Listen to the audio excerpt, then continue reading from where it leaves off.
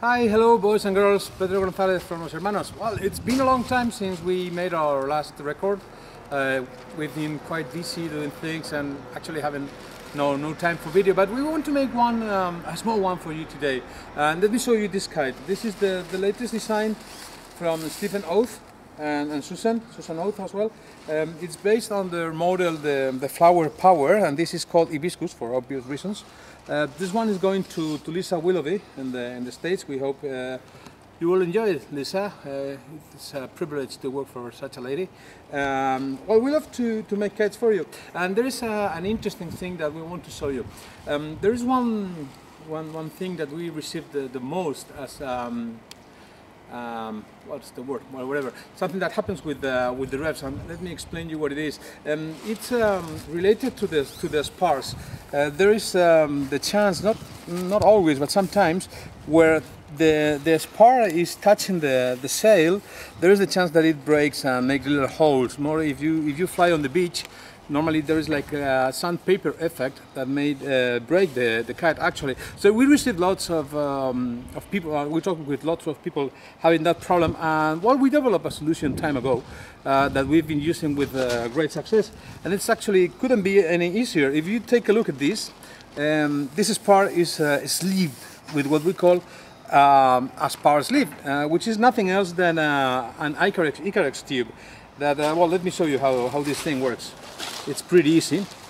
All there is to it is just um, I will take it out. It's just a piece of uh, fabric. And in that case it's Icarex fabric. Okay? Which is being sewn into a tube. All you have to do is put your spar any spar inside the tube. And it's open on one side and closed in the other side. Here it's closed. So it stays there and it's that simple to use. All you have to do is go to your kite and we tend to use the, the closed part here in the top because we have the, um, the end cap uh, which is uh, a little stiffer in here. So we just put it in there.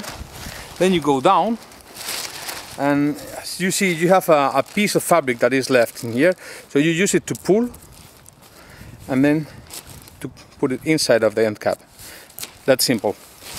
So that way there is um, a barrier in between the spar and the fabric, which is fabric against fabric. And in our experience, it's never break uh, since we use the the kite sleeve, uh, the, the spar sleeve. So uh, feel free to make them yourself if you feel uh, like you can sew it. It's pretty easy actually. If not, you can always contact us. We can we are selling the the set of two for just five five euros plus shipping, which is almost free. Um, but if you can do it, just feel free to make them. Uh, we sell them because we want you to have no problems with the uh, with the kites and to, to avoid a little breakage in here. So that being said, let me show you again the beautiful kite we made for Lisa. Beautiful work from Stephen and Susan Oath. Uh, that's it for now. Bye bye boys and girls. See you soon.